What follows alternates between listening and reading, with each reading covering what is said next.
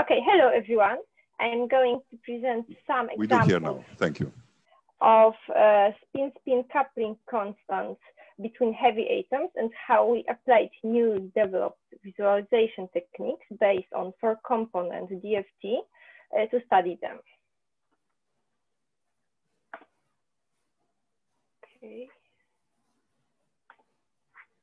Uh, let's start with some theory. Uh, the NMR indirect spin-spin coupling constant arises from an interaction between two nuclei mediated by the electronic structure, which is perturbed by the magnetic moments of the nuclei involved. Therefore, the reduced spin-spin coupling constant uh, is usually computed with the use of perturbation theory as the change of in the electronic structure due to the magnetic field induced by the nuclear moments. At the relativistic approach, spin-spin coupling tensor can also be expressed in terms of linear response theory using a single linear response function. Uh, all of our calculations were performed for these three molecules, hereafter called selenium-selenium, selenium-tellurium, and tellurium-tellurium. Spin-spin couplings for these molecules were studied earlier, and there are both experimental and theoretical data available for comparison. The A structures here represent lowest potential uh, energy minima, and B structures represent the second conformation studied. Uh, it should be stressed here that uh, we did not find any other stable conformational isomer for the tellurium-tellurium molecule, and that is why, following literature, we optimized the B structure with two dihedral angles frozen. So this is not in fact a local energy minimum. Uh, here, you can see some of our numerical results for spin-spin coupling constants obtained mostly in the RESPECT program, as there is a big difference uh, between spin-spin coupling constant uh, values for of the two conformers uh, it's necessary to take them both uh, into consideration when comparing these results with experiment. In case of all three molecules, uh, the relativistic effects play an important role in, in these uh, calculations. Of course, the heavier the coupled atoms are, the more pronounced the relativistic effects are. As you can see, our four component relativistic Dirac-Kohn-Sham results yield good agreement with uh, the experiment for selenium-selenium and selenium-tellurium molecules. Moreover, in these two cases, the Dirac-Kohn-Sham performs better than spin-orbit Zora from ADF. Uh, it seems that uh, Dirac-Kohn-Sham approach produces spin-spin coupling constant values, absolute values, that are systematically larger than spin-orbit Zora. Uh, it appears also that in order to obtain a better agreement with uh, experiment, uh, it a much more sophisticated uh, averaging over the whole potential energy surface should be performed. Okay, let's go further. Uh, as I uh, mentioned before, spin-spin coupling tensor is defined as a second derivative of the electronic energy with respect to magnetic dipole moments of the nuclei. However, alternatively, it can be expressed using the first order current density induced by the nuclear dipole moment. Here you can also see expressions for the current density and the first order current density in the framework of four component DFT. Uh, to visualize spin-spin coupling constants, we plot the isotropic average of the integrand in equation four with additional averaging over the intercharge of the two nuclei. Uh, in the following part of my presentation, I'm going to refer to the integrand in equation four as spin-spin coupling density. Uh, this is uh, the first example of the visualization techniques in action. Here, you can see the spin-spin coupling density for the selenium-selenium, selenium-tellurium, and tellurium-tellurium molecules. note that the green color represents positive values and the red color represents the negative values. The through, uh, the through space nature of the three couplings is clearly visible here, and there is no observable density along the path through the chemical bonds. Okay, uh, this is a two-dimensional visualization of the first order density by the magnetic dipole moment of the selenium nucleus attached to the oxygen atom in the selenium-selenium molecule. The current density is projected onto the plane of the aromatic rings and the magnetic moment perturbation is perpendicular to the plane and directed towards us. You can clearly notice here the alternating clockwise and counterclockwise current at the aromatic carbons and hydrogen atoms. Uh, this is a very interesting picture because it illustrates the Dirac vector models uh, as uh, the circular currents of the aromatic carbons are connected to the Fermi contact mechanism. Mm. Uh, this uh, picture also illustrates the Dirac vector model as you can see that uh, the coupling constant between all the nuclei and selenium atom, uh, their, their signs uh, change as the currents of the aromatic carbons change. And this is also connected to the Fermi contact mechanism. okay, let's go further. In this picture, you can see uh, the, uh, uh, the, the, okay. Uh, as you remember, there was a huge difference uh, in uh, the tellurium-tellurium spin-spin coupling constant due to the relativistic effects. And this picture so, shows that the change in spin-spin coupling density is purely in the paramagnetic contribution.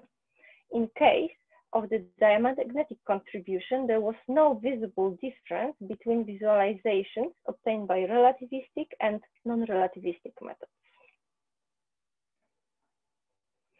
And here you can see spin orbit and scalar relativistic contributions to spin-spin coupling constant density for the tellurium-tellurium molecule.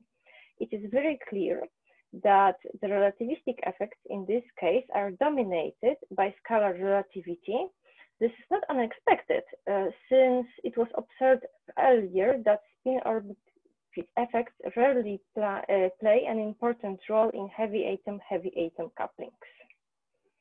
Okay, and now to sum up, I have presented you the result of four component DFT calculations of selenium-selenium selenium tellurium and tellurium tellurium through space spin spin coupling constants will focus on the coupling pathways. The estimate values of selenium selenium and selenium tellurium spin spin coupling constants we obtained indicate that our four component approach is in better agreement with the experiment than the Spinzora approach from the ADF. In case of the uh, tellurium tellurium spin spin coupling constants, it the problem might be that we didn't uh, find the second local minimum. And uh, we, we, are not using it during the average, averaging procedure. Uh, secondly, we showed you further analysis in terms of visualization of spin-spin coupling constant densities and uh, these visualizations confirmed that the through space, uh, the, that the character of the studied couplings is purely through space. We also uh, made a comparison of the visualized coupling densities at different levels of approximation, and this allows us to show the role of separate contributions to spin-spin coupling constants. On the whole, our newly developed visualization techniques uh, implemented in RESPECT in many cases can provide a useful illustration of the numerical results. As it is said, one picture is worth a thousand words. Uh, all of the results that I, I show, show, showed you today uh, in this presentation are And also some more examples can be found in our recently published paper. It is also worth mentioning that uh, because of the time restrictions, I wasn't able to show you all the capabilities of uh, the RESPECT program. And uh, for example, it is also possible to analyze the contributions of individual molecular orbitals to spin-spin coupling constants. I would like to thank all co-authors. I would also like to thank the National Science Center in Poland, Slovak grant agencies, and the Research Council of Norway for financing. And last but not least, I would like to thank you for your attention. Thank you very much for the interesting talk and again, perfect timing. Uh, so it's time for questions or comments if there are.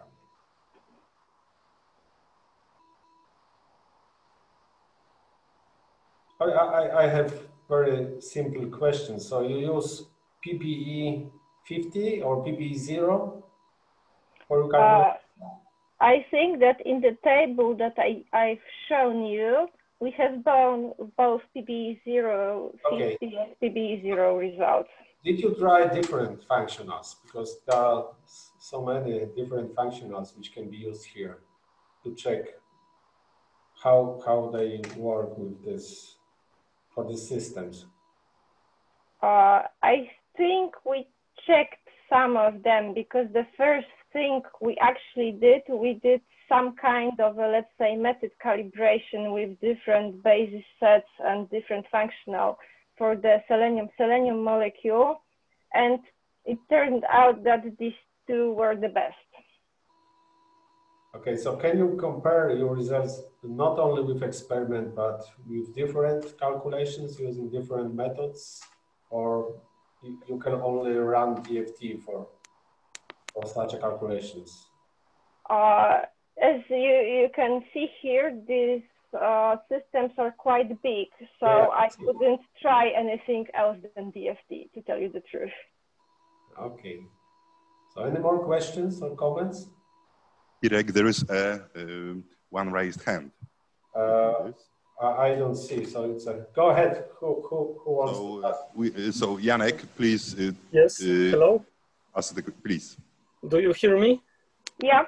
Yes. Uh, okay, uh, I want to ask about this uh, slide uh, with uh, vectors uh, shown.